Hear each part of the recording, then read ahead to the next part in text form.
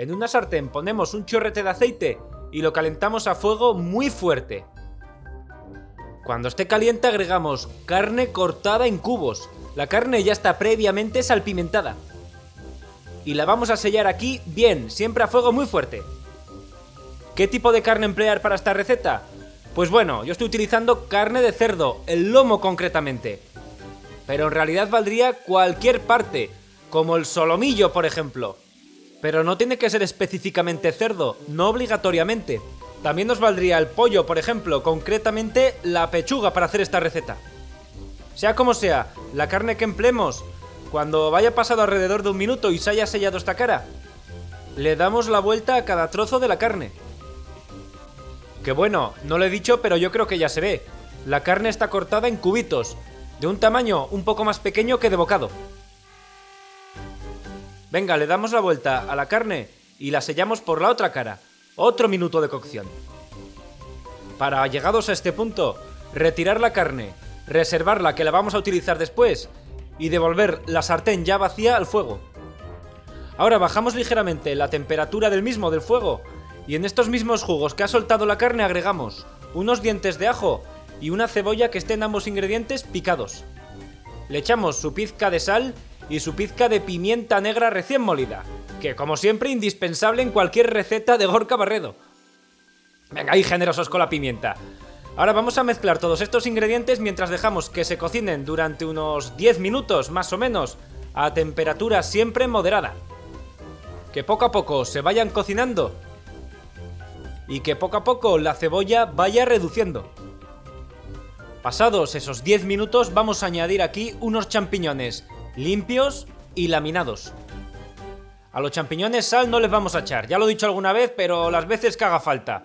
Si le echamos sal van a soltar agua y se van a quedar mm, raquíticos, enanos. Así que lo dicho, sal no echamos. Lo que sí que hacemos es subir la potencia del fuego e integrarlo con la cebolla y el ajo. Y nada, cocinarlos otros 3 minutos o 4 más o menos. Siempre a fuego fuerte, quédate con eso.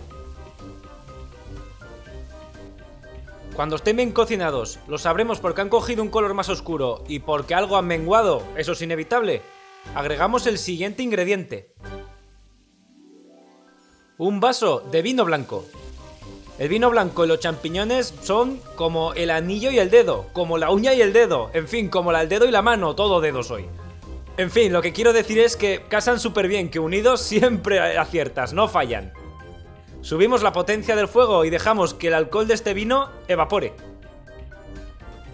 Y si no quiero usar vino blanco, pues bueno, un tip que también he dado alguna vez, pero lo mismo que antes, las veces que haga falta. Podríamos sustituirlo por un vaso de agua y un pequeño chorrito de vinagre blanco. El sabor, evidentemente, va a cambiar, pero ese toque ácido que buscamos se lo va a dar igualmente. Bueno, que esto ya está muy avanzado. Cuando el alcohol se haya evaporado, tras un minuto de cocción, o dos como mucho, devolvemos aquí la carne que teníamos reservada del principio. Y la integramos con el resto de ingredientes. Sobre todo la idea es que la carne se impregne y se moje bien con el caldo que tenemos en el fondo. Y ahora toca agregarle otro ingrediente más. Se trata de caldo de carne oscuro. El caldo de carne generalmente siempre sale oscuro. Si es casero hay técnicas para que nos quede así. Algún día puedo hacer algún vídeo específico sobre ello si os interesa. Pero bueno, en principio, si no tienes cualquier caldo vale, incluso uno de verduras. Menos agua, lo que sea, lo cubrimos con caldo y vamos a dejar cocer esto durante unos 20 minutos. Que poco a poco vaya reduciendo. Y de paso que poco a poco la carne se vaya cocinando, que está sellada desde el principio pero en el interior se mantiene todavía cruda. Cuando hayan pasado esos 20 minutos a temperatura media, vamos a terminar de rematar esta faena agregando un par de ingredientes más. Se trata de nata para cocinar, también conocida como crema de leche, que le va a dar a la salsa un toque muy cremoso y un sabor brutal.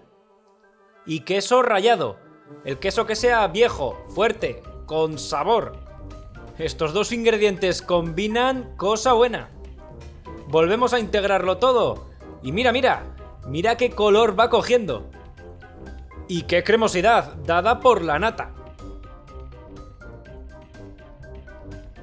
Y a partir de aquí ya poquito más. Simplemente calentar la salsa a temperatura muy suave, que la nata es muy delicada.